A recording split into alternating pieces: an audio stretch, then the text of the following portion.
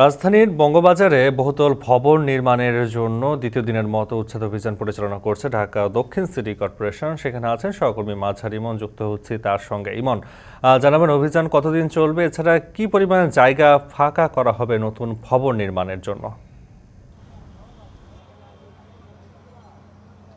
নাফি, গত চার এপ্রিল, গত বছরের চার এপ্রিল বঙ্গবাজারে যে আগুনের ঘটনা ঘটেছিল, এরপর থেকেই আসলে এই মার্কেট নির্মাণের যে বিষয়টি, সেটি আলোচনায় ছিল। যেহেতু ব্যবসায়ীদের দাবি ছিল, তাদের ব্যবসা অনেক লস হয়েছে সেই জন্য প্রায় এক বছরের মতো সময় অতিবাহিত হওয়ার পর সিটি কর্পোরেশনের উদ্যোগে এখানে কাজের যেই শুরু, সেটি করেছে। আমরা যতটুকু জানতে পেরেছি, গতকাল থেকে অভিযান পরিচালনা করছে। আজকে দ্বিতীয় দিনের মতো অভিযান পরিচালনা করছে। ঢাকা দক্ষিণ সিটি কর্পোরেশনের যেই সম্পত্তি বিভাগ রয়েছে, সেই সম্পত্তি বিভাগের অধীনে। আর এখানে প্রায় এক দশমিক সাত নয় একর জমি অধিগ্রহণ করা হবে, যে যেখানে প্রায় দশতলা বহুতল ভবন নির্মাণের যে উদ্যোগটি সেটি নিয়েছে। আর সিটি কর্পোরেশন থেকে অনেক আগে এখানে সাইনবোর্ড টানানো হয়েছিল যে ঈদ উল ফিতরের পরপর যেই কাজ আছে সেই কাজ ধরা হবে। তবে ব্যবসায়ীদের পক্ষ থেকে যেটি বলা হচ্ছে যে ঈদের পরপরই তার তার সিটি কর্পোরেশন যেহেতু এই কাজ কাজ শুরু করে দিয়েছে, তারা তেমন সময় পায়নি এবং পূর্ব ঘোষণার যে বিষয়টি, যেহেতু কাজ ধরার একটি ঘোষণা ছিল পূর্ব ঘোষণা, তবে একেবারে ঈদের পরপরই যে কাজ ধরবে সিটি কর্পোরেশন, সেই বিষয়টি আসলে ব্যবসায়ীরা জানতো না বলে অভিযোগ করেছে। পাশাপাশি ব্যবসায়ীরা যেটি বলছে যে, এই তারা যে ক্ষতিগ্রস্ত হয়েছিল গত বছর, সেই ক্ষতিগ্রস্ত হওয়ার পর থেকে আজ পর্যন্ত তাদের যেই অনুদানের যে বিষয়টি রয়েছে, সরকারের পক্ষ থেকে এবং বিভিন্ন সংস্থার পক্ষ থেকে আমরা দেখেছিলাম, আগুনের ঘটনার পর ব্যবসায়ীদের জন্য অনুদান দেওয়া হয়েছিল। সেই অনুদানের বিষয়টিও এখানে অস্পষ্ট রয়েছে। ব্যবসায়ীরা এমনটি জানিয়েছে আমাদের।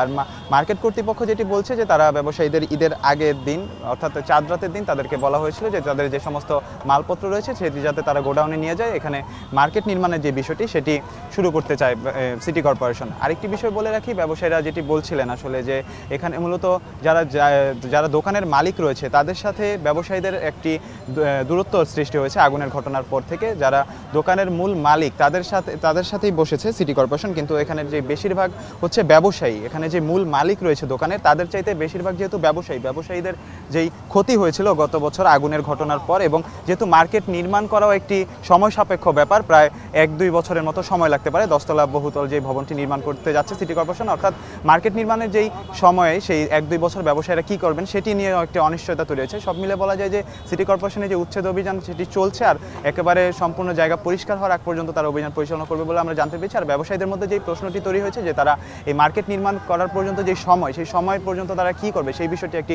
প্রশ্ন হিসেবে দাঁড়িয়েছে। সব মিলে এই ছিল বঙ্গবাজারে যে অভিযান চলছে সিটি কর্পোরেশনের, সেটির সবশেষ খবর।